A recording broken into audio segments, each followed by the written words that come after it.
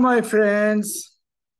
This is Dr. Mohamed Nezami again uh, with another lecture on um, microwave and RF uh, circuit and devices design and 3D simulations. Um, we continue um, uh, this series. Today, we're uh, going to be uh, doing one more video on radial com power combiners and splitters. We did cover several of these. I think this is the fifth uh, in this series, in this playlist. I urge you to um, to go ahead and, and click below and see the list of uh, videos that are available for this playlist, radial combiners, and for the other stuff that we've talked about. So uh, just to remind you, I am uh, an, an, independent um, RF circuit designer. Um, I do designs um, uh, and work with you remotely. I turn in boards for um, from specifications to uh, all the way to your Gerber files available at your desk, including bill of material, uh, board design, um, modeling simulations, um, whatever it is, we can do it. Uh, so if you have any need for an RF designer to do remote work, um, that is very inexpensive compared to the United States. I operate at, at uh, much, much lower rate than uh, you can find in uh, from uh, by hiring uh, consultants in the United States or Europe uh, I'm available. So go ahead and uh, reach me, reach out to me with this email here or this phone here. Okay. And I could be contacted with these apps here, WhatsApp and Telegram as well. Okay, so uh, just a little uh, another announcement. I have a 3D uh, RF and microwave device design in 3D HFSS modeling, which is primarily built with the uh, videos that you see in my uh, playlist, not just the radial combiners, but the other stuff.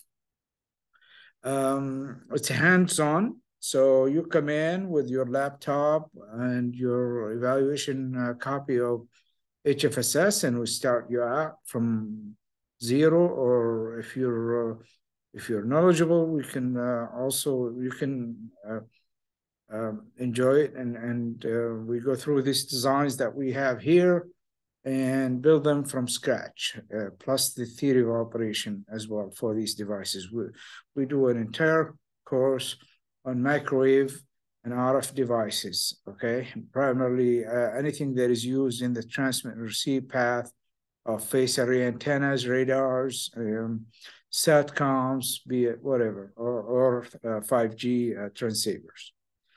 So the, the next our first tra uh, training session will be held in February 15th to 18th at the uh, Olive Branch Hotel in Jordan. Okay, Jerash, Jordan. And it's uh, the uh, fee is $1,000 per person, and we pay for the hotel room and the meals for the three days. Plus, there'll be some activities as well outside the uh, duration of the uh, training where we have set up some um, visits to see uh, attractions around the city here. Okay, so be sure to uh, contact me at this email so that I can get you registered for that. Okay. Now let's go ahead and, and finish up uh, one more session in the radial power combiners. And we said in the last sessions, we showed why do we need to do things radial combiners? What, what's the, the key features of these as opposed to the conventional Wilkinson corporate uh, structure um, splitters and, and, and um, combiners?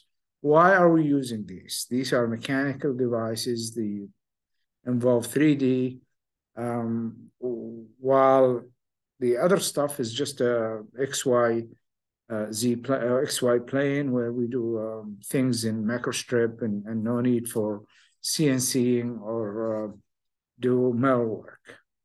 Uh, we did cover, we said that um, we have several classes of radial uh, power dividers, and we uh, we showed all these. Are you can see this is the fifth session, and today we're going to go through one of these, which is conical transmission line uh, or transmission line ring cavity uh, combiner splitter. So let's just show, well, before that, let's just, where do we use these? Just to remind you, just to refresh your minds on this. We These radial combiners are mainly used for um, either feeding antennas, okay, antenna feed, or using power amplifiers. Okay, in power amplifiers, we can conventionally, as you know, we have, get a signal and we split it n ways to N amplifiers, and we have N-way combiners to get to a common line. Now, if you look at this, as I will show in a minute, as you start uh, splitting more and more, say beyond eight, no, not even eight, beyond, I would say uh, four, um, or beyond, no, I would say 16, sorry, I, I meant uh, the other way around. Uh, you're starting to, it starts to get to a real um, hectic job of, of maintaining the splitting and combining, especially you're going to get a lot of mismatches between all these ports. There is really very little that you can do to get symmetry, symmetry between the, the branches in here, okay? So that's one thing. Plus the, look at the accumulation of losses where every time you split and combine, there is loss associated with it. So there's a layers and layers of, of, of, of accumulated um, losses. Where if you can do things in radial, um, uh, combining and splitting, uh, in there you, you can see that you're really not, you don't have, it's all done at once. So it's it's immediate um, splitting and immediate combining, okay? So so the other thing why we use radar combiners is look at this. If, if you look at the, the uh, corporate um, uh, devices used to split and combine signals, uh, high frequency signals, you're always going to rely on either Wilkinson or the uh, hybrid, 90 degree hybrid, or the uh, rat race um, device. And all of these, as you can see, are based on quarter wavelength sections because we use a quarter wave transformer to match the different impedances, okay? And as you know, uh, quarter wave transformers are narrow banded relatively. So to get to broaden these, you would need to go higher order. And if you go higher order, uh, it becomes very difficult to go beyond four um, stages of, of multi-stages of of, of quarter wavelength um, sections. And I'll show you in a minute why. And basically, you can see it in the figure here that uh, when you design a Wilkinson divider or combiner, the computation of the line impedances start from right at the load and then continue toward the generator. And as you can see, we get narrower and narrower quarter wave sections, and that's physically, uh, eventually you will get to a point where beyond four, the line will be so tiny that you can't maintain um, uh, tolerable uh, fabrication. Okay, plus you're going to get losses, excessive losses. So, so as you can see here, if you if you're trying to um, come up with say, um, um, uh, let's say you're trying to feed uh, 32 antenna elements, it becomes very difficult to maintain that using uh, a corporate uh, method like this. And just to show you that, let's just go before we go that. I know we did go through this spreadsheet last time. Let's say that uh, we have a transformer um, like this, a two-way combiner. And if you go and say uh, the first order one, your impedance will be the well-known impedance, which is the square root of the 50 times 50 on both sides, and you're going to get 70.7 ohms. And that would be here, these impedances. Now, if you look at this, this is narrow, of course. Okay, so if you can come in in here and say increase this to fourth order, you get wide bandwidth, but look at the lines. They're going to start getting um, narrower and narrower. And if you go to eight, of course, as you can see here, uh, the, the lines are very, very tiny. So now you can imagine that this is only an order of eight. If you try to um, give more, you're going to get more losses and it becomes very difficult to fabricate and so on. So that's the other reason why we would want to do that this way. So,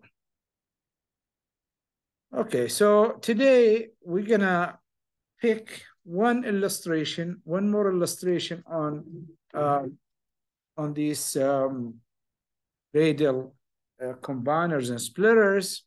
And um, today we picked one. Uh, last time we picked a cavity uh, with a cavity with a um, tapered coaxial, uh, oversized coaxial line and we showed how you design that with uh, using with the multi uh, probes, microstrip probes as peripheral ports.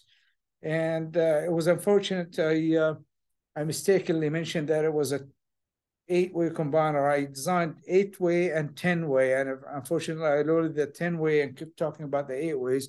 But everything uh, other than that is valid, regardless. Okay, because all it is you increase the radius to accommodate more probes around. So today we're going to talk about um, so, uh, a new uh, another design, which is uh, to actually this design uses um, coaxial peripheral um, uh, probes that that are uh, basically the um, the uh, inner conductor is used as extended to be used as a a quarter a wavelength probe.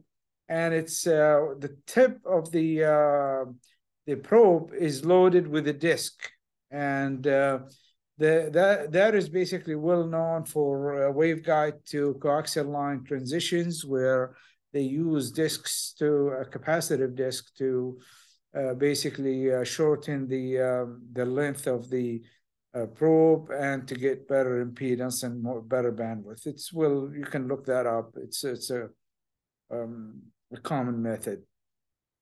Okay, so today we're going to talk about a 16-way power combiner or divider based on the coaxial ring cavity with SMA type connector outputs terminated with disk or capacitive loading. And uh, let's just take a look at that. Um, I have the uh, design loaded here. And basically uh, what we have, we have um, a, um, we have a, um, this tapered line here that feeds the signal in here. Basically, usually there's a connector in here. I, this time around, I didn't draw, draw a full coaxial section sticking out of this. I just basically excited a wave with a with a piece of metal inner connector that that that, that corresponds to the dimensions of a um, of a, of a, of a coaxial line, 50 ohm coaxial line. And then you start out, and there is a, uh, the signal starts out, and this is a cavity basically where we have a coaxial cavity where we have the, um, the uh, this cylinder in here is basically hollow from inside. As you can see here, this line here is hollow, and it, it, it is actually um, um, isolated with a with a gap from the uh, from the inner, okay, and the tapering is done on both the outer and the inner. So um, let's just uh, show here the uh, the pieces as you can see. Let's see, this is the uh,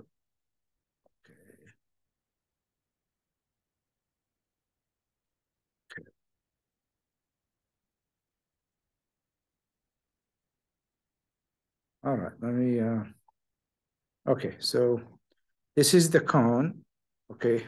The cone comes in, that's the inner um, conductor of the coaxial line that is tapered. It starts out here and it tapers all the way to um, um, to the bottom, okay? And at the bottom, where this here comes in, there's another piece, uh, show that. There's another disc here that, that falls in, uh, let's just, okay. So here it is. This is, this is basically the inner conductor, okay? And, and we come down here to the bottom and there's a disk that you can see here. The disk is around here. This disk is extended. Okay, this is an air gap. And this disk cavity in here has a, a 16 probes, coaxial probes that are uh, uh, that are coming in, as you can see here. Let me see if we can show these in a better way. Uh, we have the inner, you can see the inner sticking out here, and there's a cap in here. So let's go ahead and um, show these caps and these. Okay, these here is the the these are the probes, the peripheral uh, co uh, connectors. Basically, there's a hole in the bottom, and this hole lets you insert the coaxial line, and uh, this is the the the okay. If, if you can see here, these are these are distributed equally, symmetrically around the um, the the disk, and the disk has a distance. This distance here from the wall to the center of the disk, which is the tip of the probe, is a quarter wavelength. So this acts as a short. This here is as if this is similar to the stuff that I've designed in the uh, waveguide transitions where we get a probe and then the distance from the wall that is shorted here is a quarter wavelength, okay? And the uh, there's a benefit to this using the ring like this is because let's look at the uh, from the bottom view. As you can see here, they are distributed inside. These are uh, this is from the bottom looking up, and this is the base of the oversized coaxial inner conductor. Okay. The, the good thing about this is that anytime you increase the number of ports, let's say you want to go to 32 or 20 uh, uh, instead of 16, then you would increase the um, the radius or the diameter of both the um, oversized um, taper and the uh, um, the outside of the ring, but the width, the width, which is this here, is still maintained, same distance.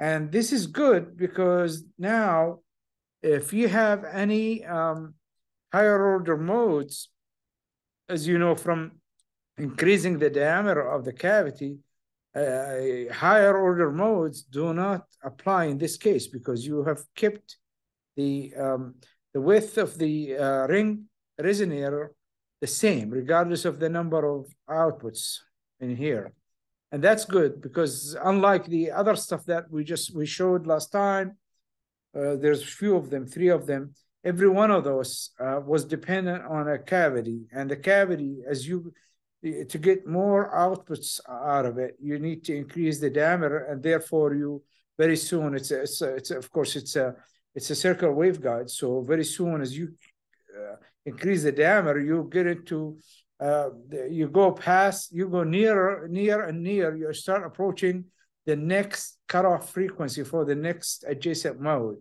And that becomes dispersive and you get a lot of losses on that. Okay, so um, the uh, signal uh, is fed on the top. As you can see in here, the signal is fed like a coaxial disk, okay?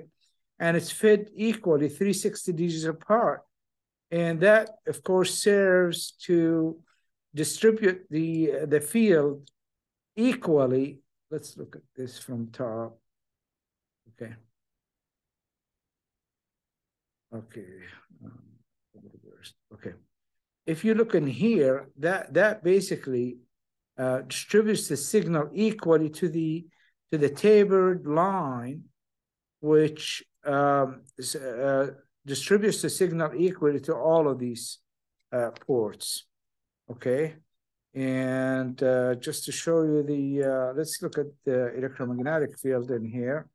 This is the, um, the electromagnetic signal. Of course, it's fed in here. As you can see, that's the hottest point. And the way it does it, it propagates down um, in the um, in the gap in the cavity between the, which is the the area between the uh, the air-filled area between the inner conductor and the shield, which we'll call this cylinder in here that is hollow. It has a cone, a hollow cone inside, okay, and it goes all the way down to the um, to the probes and gets picked up by the probes. And just to show you that, this is the probes. You can see the signal leaks into the ring cavity and gets picked up uh, by the by these probes equally. So you get matched um, amplitude, phase, and delay, and uh, so there are no mismatches like you would get in um, you know corporate uh, some type. So let's let's animate this and and just view how this is done.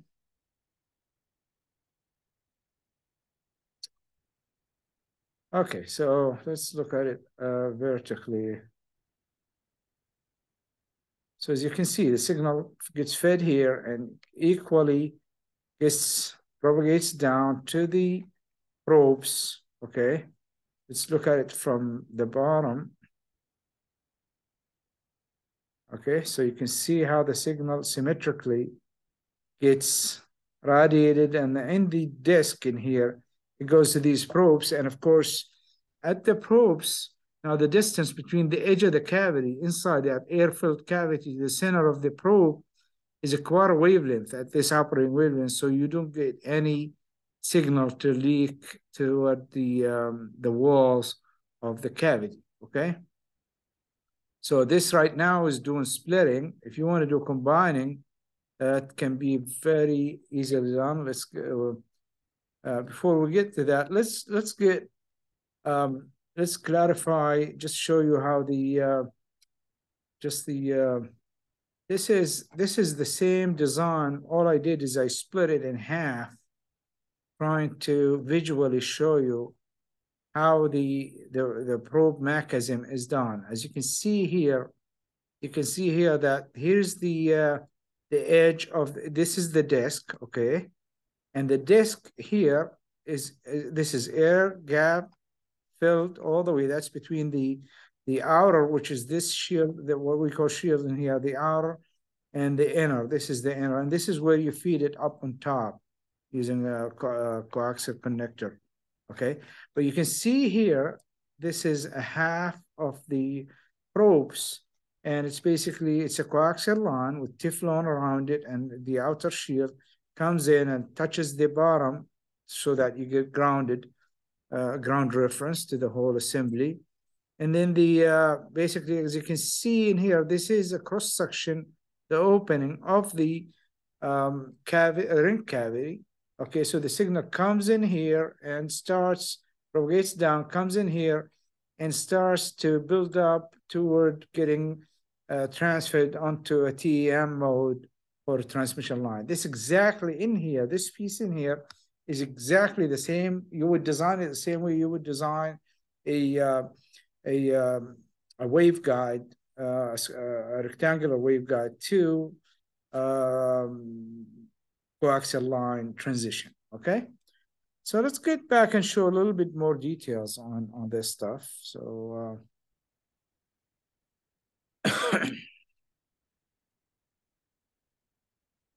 so we said last time that where would you use these devices? These devices, of course, can be used in this case like these ones in here, where you have a power amplifier, uh, a radial uh, assembly of power amplifiers, and you can split the signal and distribute to all of them. Of course, in this one in here, somebody might look at this and say, this, this is not a cone like, unlike the other one that I just showed you.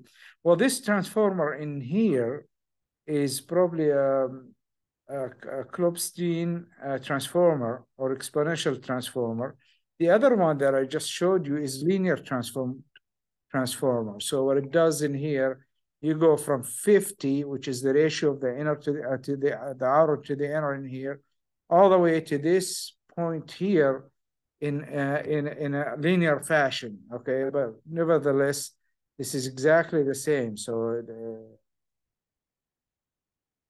bear with me, this, uh, this is not PowerPoint, so I'm using this and it keeps going back to the initial point.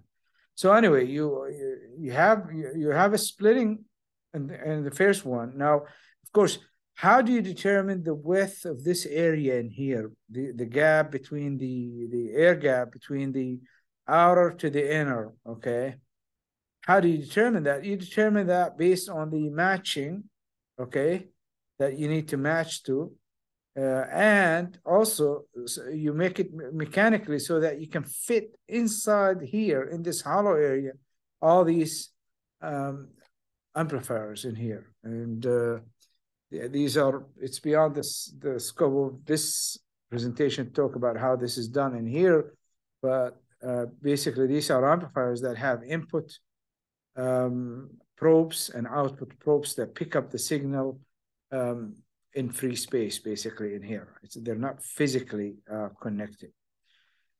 Okay, so our design, like you said, I showed you, uh, basically is 16 uh, probes, coaxial probes that are done in the disk in here, and there's a cone, the, a tapered coaxial line, and it's fed at the top where it distributes the signal to this, and this is a, so the taper line uh, from N-type connector or SMA connector, either way, to the power divider input for providing space and smooth change of the impedance because you really want to transform. This is a this is a, a, a transformer actually, an impedance transformer, and there is ways to design this. You can look them up and tapered uh, uh, impedance transformers and we transform the impedance from 50 all the way to the parallel combination of 16 um, probes in this case, okay? So we showed you this, that's the cross section of one of the probes. Uh, basically, as you can see here, it's disk loaded and it's capacitive, okay? So, and there are reasons to this. You can look up the, the theory of behind the uh, waveguide uh, disk loaded um, coaxial uh, uh, waveguide to coaxial line um, transitions, and it will show you how to do this. Basically, simply said, it's basically just a capacitor that reduces the need to have this as a quarter wavelength inside, okay? All right, so again, uh, what are the parts of this, uh, we have the, the central part, which is a standard coaxial line in here that feeds the signal to the oversized uh, waveguide, um, coaxial waveguide, which is this one here. And so waveguide because there is an air gap between, there is no Teflon in here where there is up on top for the little piece of connector. But in here, it's an air cavity, air, air between the shield and the inner conductor and the uh, they both taper down to um, a value that matches the impedance that is loading it. Okay. Uh, and uh, so uh, there's a taper coaxial line, there's a waveguide ring, which is in the bottom in here, and there's a disk loaded SMA type connector probes that are here. So that's very much. Now, um, I know I mentioned this, but one of the good things about having a disc at the bottom of the uh, of the um, oversized coaxial uh, assembly, unlike the from the previous video, you can check that one where we didn't have um, a disc like this. We just basically inserted the probes into the cavity and and probe uh, coupled the signal out of the uh, inner conductor of the oversized uh, coaxial cable. In that case, of course, every time you need to increase the number of peripheral outputs, you have to extend the waveguide uh, radius more and more, and very much you start getting into um, exciting higher order modes, and that will just uh, uh, disrupt the signal and, and uh, introduce dispersion and losses. unlike that, of course, scenario, if we have a disk, like in this case, this one here, this disk here, that is basically comes in, extends the, the air uh, cavity between the inner and outer shield of the, uh, of the cone, it just extends it further so that you can build a, a hollow disk. Um, the reason for that is now, if you need like, for instance, this is 16 way combiner or splitter, and this is 32 where you're doubling this, you can see that we increase the diameters, but the ring cavity width here, this width is still the same, okay? And that's really good because that way we don't, um, for this particular design, this is between uh, basically um, uh, the frequencies between I would say three and a half gigahertz to 12 gigahertz. Okay. And uh, I yet to investigate why is this happening in here. Should be smooth, but this is at lower frequencies. Uh, so I'm going to look into that further. But one of the areas that may cause this is the the the um, the probe. This area here. Okay, so you need really need to optimize the the look the the dimensions of the disk, the uh, length of this piece here that feeds from the disk to the edge of the uh, uh the uh, the ring cavity, and then also the spacing from the ceiling of the cavity because that's capacitive. So, all right. So uh, now we did show this visually how this is done. So let's read this to Oops, before we do that, let's read up, so down. Okay. Now, coaxial ring cavity 16-way power combiner divider. First of all, like it says here, input signal is fed to SMA or N-type connector at the top, and then divided into 16 equal output signals. Uh, that, that's because you just it's really infinite number, but it propagates down the, the cavity, the coaxial cavity. It's fed uh, and it fed in parallel to the over, uh, oversized coaxial waveguide, okay? A coaxial taper feed port provides axial symmetry electromagnetic field excitation for the ring cavity, which is down here, okay, power divider, and maintains good output port amplitude and phase balance. Okay, it also provides good impedance matching to the input port to the, uh, you know, one of those days I'm gonna make a video on uh, this this theory of tapered line transformer matching. It's pretty simple. You can take a look at it and and Klopfenstein transformer is one case, but you can also use linear, like in this case here, that's a linear transformation and they have some exponential transformation, but these are good broadband transformers.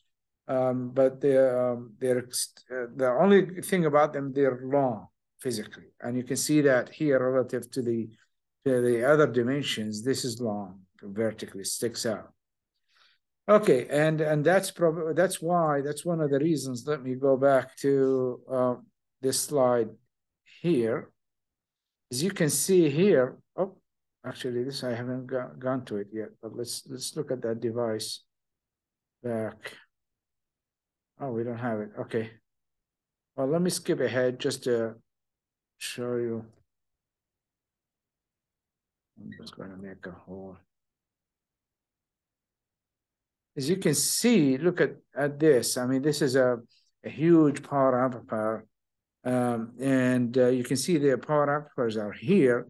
And this is one of these conic um, uh, power dividers. You can see how the length of this, there's two of them, extends out mechanically. So it's a sizable uh, device. It's it's it's it's large. It's not small, and that's because we need to. The reasons, one of the reasons why it's so long like this is because You've got very low impedance due to the parallel combination of the peripheral ports loading the, the um, tapered uh, transformer.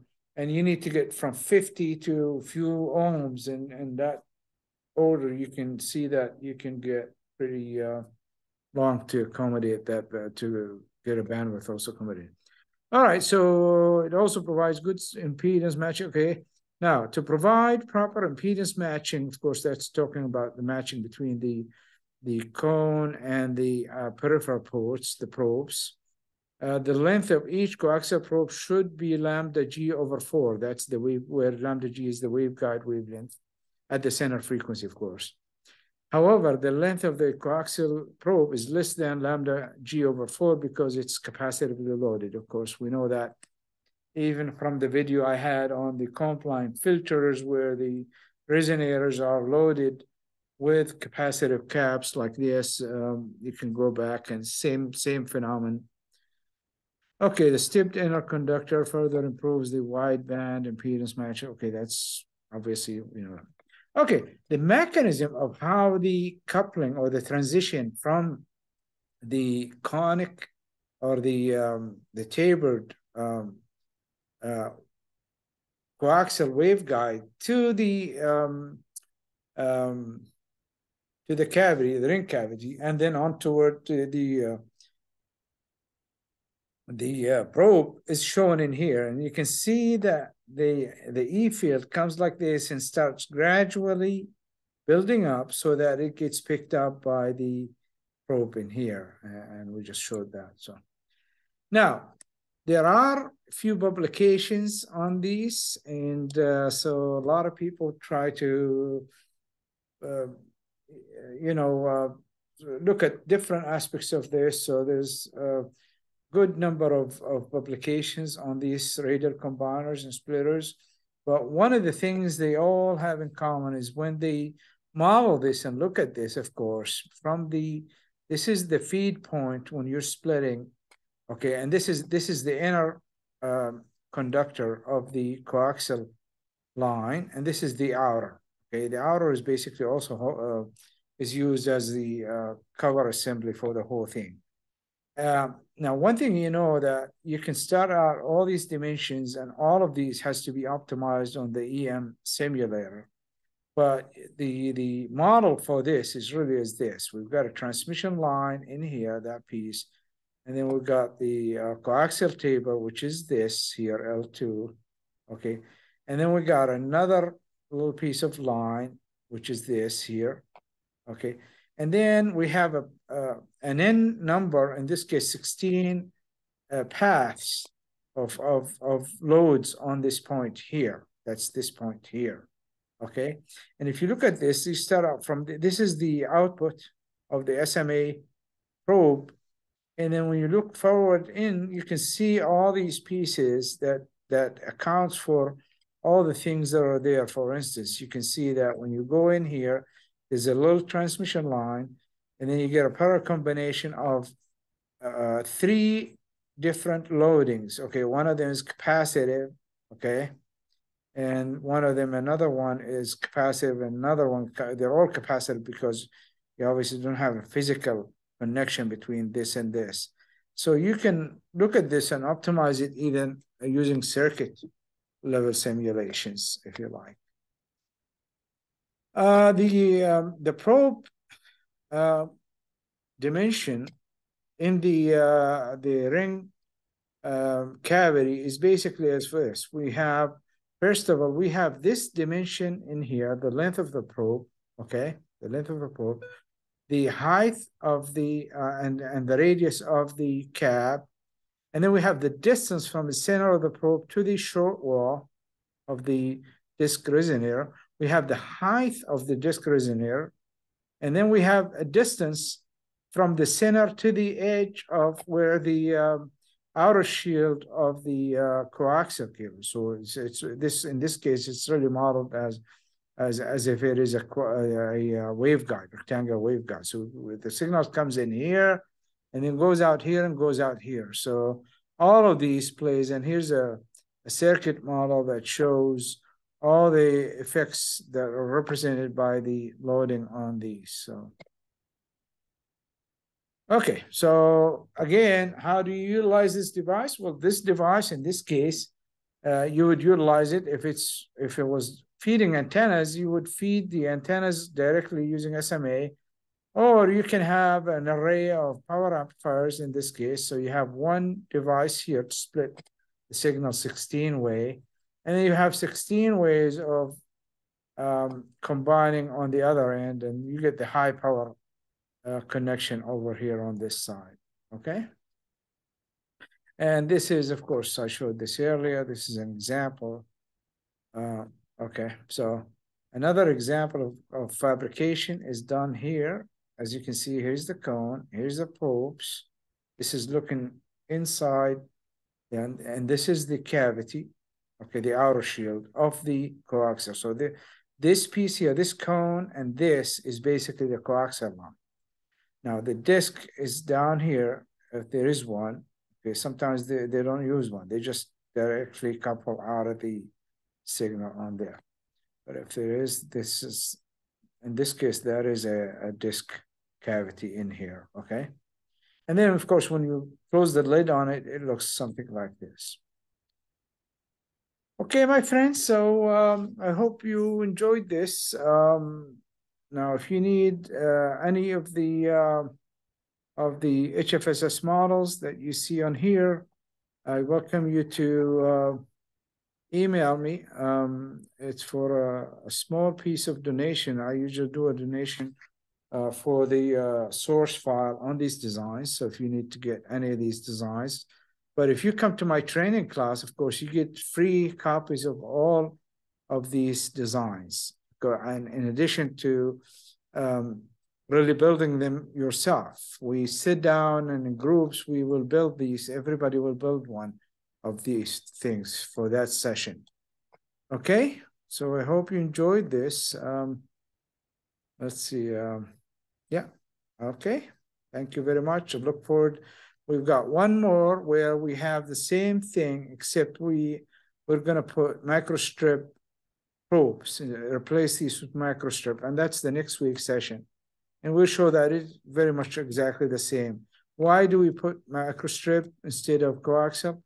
Well, it's the question of why wouldn't you? Because uh, obviously when you connect this, this is a small this is a, a small section of another system. So basically you want to integrate this in a planar uh, output. The peripheral ports has to be planar so that you can go in and amplify the signal or uh, whatever is needed to do next. Uh, this would be a case where, for instance, this is used uh, in a, some kind of uh, astronomy or some kind of uh, just a passive way uh, combiner or splitter, or to feed antennas that have um, SMA or N uh, type.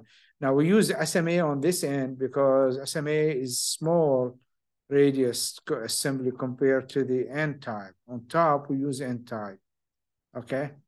But in here, we don't really use uh, SMAs. The other thing why would we do that is because also as you know, it can handle high power in here. So if this is combining, it's easier for SMA to combine medium power levels where the N type in here will interface to the higher power.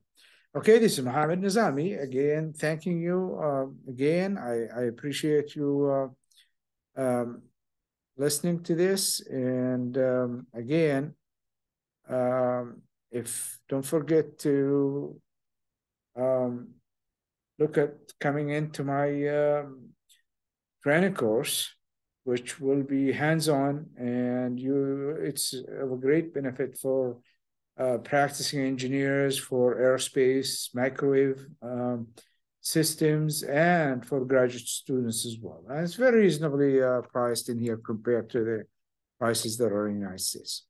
Okay, my friends. So until next week, I'll see you. Cheers and happy new year for you. Ja.